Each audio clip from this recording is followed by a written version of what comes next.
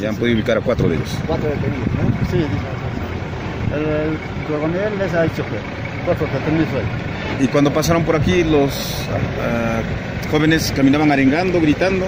No, no, solamente empujaron y se han corrido. Allá, como grifo que hay al frente, ahí. ahí. Pero imagino que ya estaban desde mucho antes, esos jóvenes. No, ya hay por que aquí. correr de arriba, señor. Ah, De arriba han corrido. Joven, una turba van. Ustedes ya saben cómo estuvo. Han corrido. Justo eh, acá han llegado, lo han empujado. ya prend- querían prender el fuego así. Y después, cuando el policía toca abrir, desaparecieron.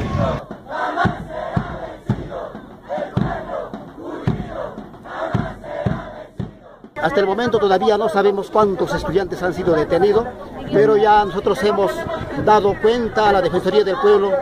Lo que nos indica ellos es que ya, ya están viendo las acciones correspondientes con la Policía Nacional. Pero queremos invocar también a toda la Policía Nacional de que suelte a nuestros compañeros, porque nosotros no hemos hecho nada. Nosotros nos estábamos movilizando pacíficamente y ellos por detrás de nosotros nos han provocado con bombas lacrimógenas. Y esto es también repudiable de parte de la Policía Nacional. Nosotros somos estudiantes, no somos delincuentes.